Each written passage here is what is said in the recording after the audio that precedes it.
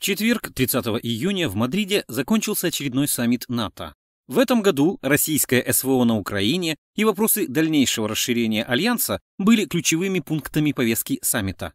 Кроме того, лидеры стран-членов НАТО одобрили новую стратегическую концепцию Североатлантического союза до 2030 года. А еще на саммит пригласили Швецию и Финляндию вступить в Альянс. По словам генсека Альянса Столтенберга, саммит принял решение об усилении военных сил, увеличении восьми батальонных групп на восточном фланге вдоль границы с Российской Федерацией до бригад и сил реагирования с 40 до 300 тысяч.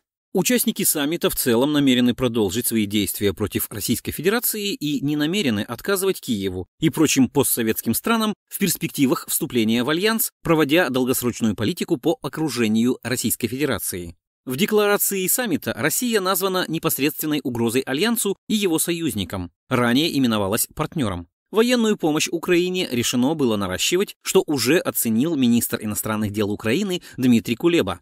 Сильная и активная позиция по Украине поможет защитить евроатлантическую безопасность и стабильность, написал Кулеба. Заместитель главы Офиса президента Украины Игорь Жовква, возглавляющий делегацию Украины на саммите, заявил, что удовлетворен результатами саммита, а также подчеркнул, что Киев сохраняет курс на вступление в Альянс. В то же время в интервью Bloomberg Жовква признал, что Альянс несерьезно относится к Украине.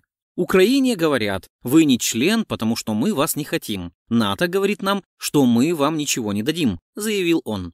В начале этого года именно курс на расширение НАТО стал одним из триггеров начала российской СВО на Украине, когда Альянс ответил отказом на требования Российской Федерации к НАТО предоставить гарантии безопасности, исключающие дальнейшее расширение блока, в том числе отказ от включения Украины и других государств. Иными словами, сейчас Альянс в очередной раз решил повысить ставки, тем более, что отдуваются за его милитаристскую политику преимущественно жители Украины. Владимир Зеленский был не столь оптимистичен, сознавая, что приглашение в НАТО может растянуться на годы. Политика открытых дверей НАТО не должна напоминать старые турникеты киевского метро. Они открыты, а когда подходишь, турникеты закрываются, пока не заплатишь. Разве Украина еще мало заплатила? Разве наш вклад в защиту и Европы, и всей цивилизации до сих пор недостаточен? заявил Зеленский.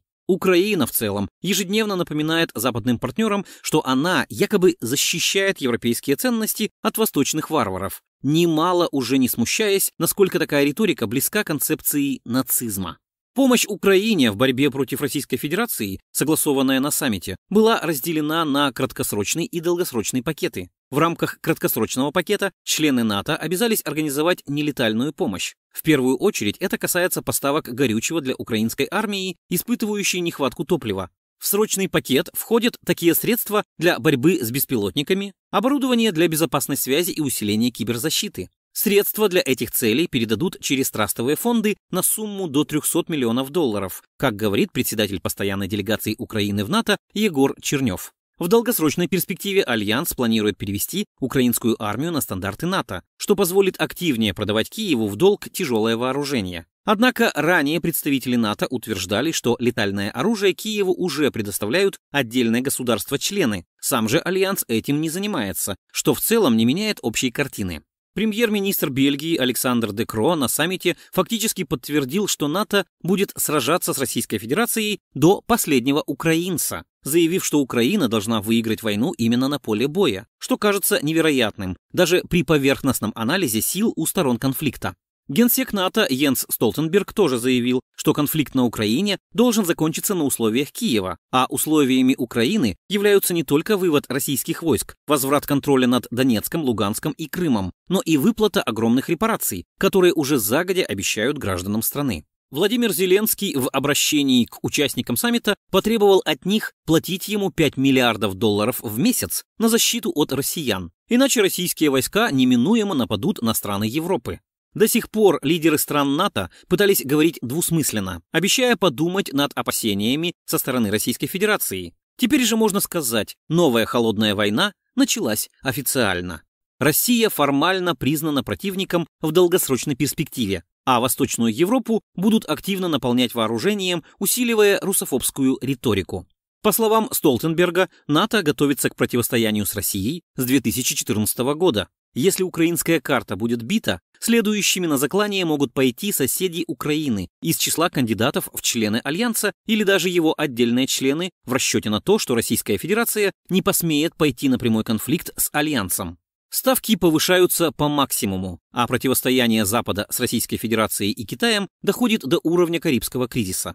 Победа армии Российской Федерации и ЛДНР на Украине может привести к коллапсу самого Альянса и банкротству крупных военных концернов, выпускающих вооружение по стандартам НАТО, что лидеры Альянса вполне осознают. По всей вероятности, необходимо готовиться к длительному противостоянию, в ходе которого будут задействованы любые возможные средства.